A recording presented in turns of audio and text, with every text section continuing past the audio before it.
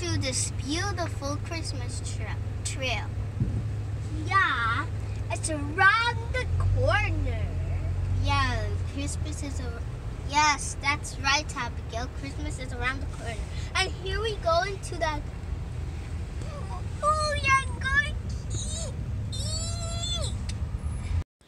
hello family hello beautiful family welcome back to my channel and welcome to another video so today we continue to celebrate christmas in different ways.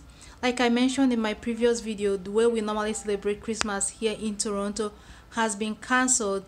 The santa claus parade uh, the christmas tree in downtown toronto and many other things that we normally do to celebrate the holiday season has been cancelled due to covid-19 However, Christmas and the holiday continue to go on. The holiday spirit will continue to go on. So there are different other ways that we are celebrating Christmas and the holidays this year, and this is one of them. This massive drive-in, uh, drive-in or drive-through Christmas, Christmas lights, Christmas trail in so many other parts of uh, the cities around Toronto. This one is in the city of Vaughan, which is just north of Toronto. So we just took the kids so that they can actually uh, see this Christmas trail.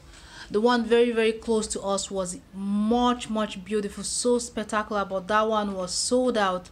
However, they enjoyed this particular one, as you can hear the excitement in their voice and in their eyes. They were just so excited even me i was so blown away this is just a an empty parking lot that they've transformed into this night of light it's so beautiful in the night that's when you can actually go for this driving but it's so beautiful. I'm so glad that they did this and they they've done it in other in other parts of the city as well. And then the other thing that they are doing also is a driving movie. They don't have a lot of them here in toronto because it's it's limited what um the space but they have one here in downtown toronto. Unfortunately we were not able to go to that one but this particular one is beautiful. We just wanted to share with you guys so for you we have a question to you. How uh, has this covid-19 affected the christmas celebration or the holiday celebration where you live if it has affected it in any way at all? Let us know in the comment section. And how are you making up to that if christmas has been affected or the way you celebrate holiday and Christmas has been affected due to COVID-19. Is there a way that you guys are making up to that? Let us know in the comment section. And we wish you a very, very Merry Christmas and a Happy New Year. Enjoy the rest of this Christmas light. We wish you